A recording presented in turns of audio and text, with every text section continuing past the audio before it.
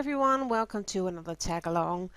Um, this week I made something to feature our stamps because they are going to go to the stamping event in Hagen, that's in Germany. It's a big stamping event, and um, I really wanted to make something that they she might take with her to show what you can do with your stamps, and I wanted to do something else than I normally do. So I uh, thought about the seasons because uh, autumn is coming, yay! so I'm working on that. Um, you saw four pieces of just plain cardboard from a box where my kitty food is in. Um, I cut them into strips, even strips, and I'm working on uh, those. I've got four of them. I painted them with acrylic paint and then a layer of clear gesso to make them um, um, how do you call that non-porous again so I could work on them um, and I forgot to tape the steps that I did on this autumn one. So I stamped with the leaves that you see uh, in the corner there and the water drops uh, because of course the leaves are falling in autumn and water drops are there as well. As as as we speak there is a lot of rain and uh, thunderstorms here so um, um, then I am just using uh, NeoColors today uh, to colorize most of them and uh, just regular uh, coloring pencils, polychromos pencils. Um, well, that's what I'm doing. So um, while I was talking, you saw me stamp on a piece of paper that I already um, colored previous uh, for another project. It's just a stamp. And um, well, then this is almost done. Well, uh, the basics is done because I'm going to work on all four of them and then finish them in the end. So just go in with this yellow NeoColor just to get the white uh, a bit toned down. It was too white. And then I am just going around this one with a black ink. Now, basics are done. Um, by the way, I colored the drops with the Polychromos pencils works very well. Now, um, as I'm going to do on all of the uh, pieces of cardboard, I'm coloring with NeoColors. That's why I needed the coat of clear gesso, otherwise it wouldn't work. So I'm just creating a quick colored background and if you do it just rub it with your fingers you could use water if you want but that would be too wet uh, for this project I just rub it with my fingers and it blends very well so for the winter, I'm going to use the tiny stamps from new new Christmas stamp sheets that uh, Artjourney uh, uh, launched. Um, and I am uh, using WOW opaque white embossing powder to emboss them. So you get a bright white snow star. Then I'm using the Bear Tree from uh, Tree. That's a stamp set as well. Of course, it's all Artjourney stamps this uh, this video.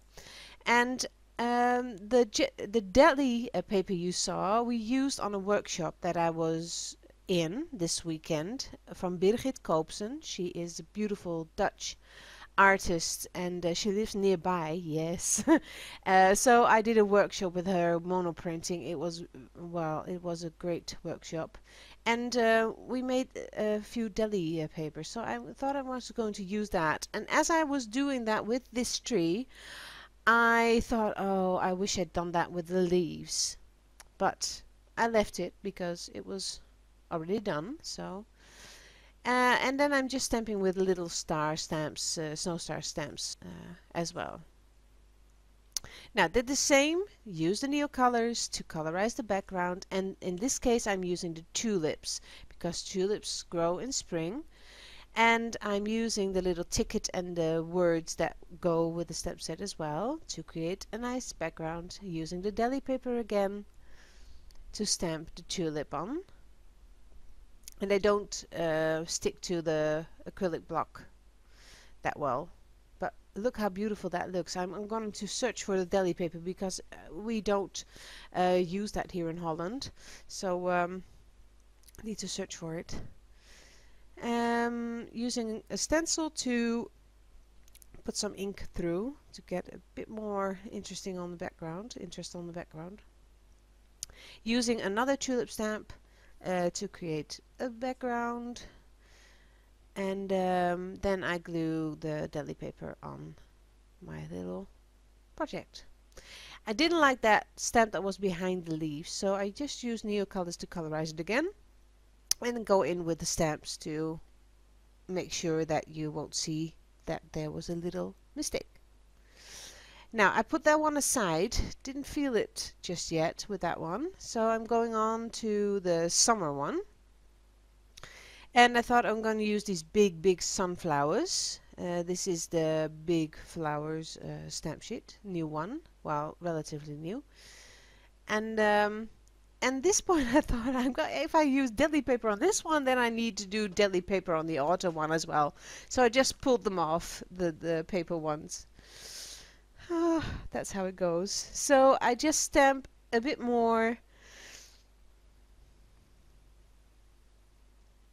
and I am searching for the bird stamps from a beach uh, stamp set um, because well, in summer the there are a lot of birds here not as many as in spring of in, in winter but uh, anyway uh, you won't see anything of it later. But I just glued those down and I thought that the center of the flower was too dark.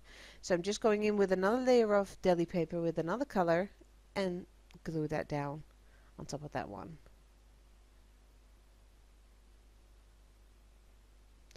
I could have used um, the beach uh, beach set easily, but it was all nature-like, so I wanted to keep uh, it into the nature theme. So flowers, trees, leaves.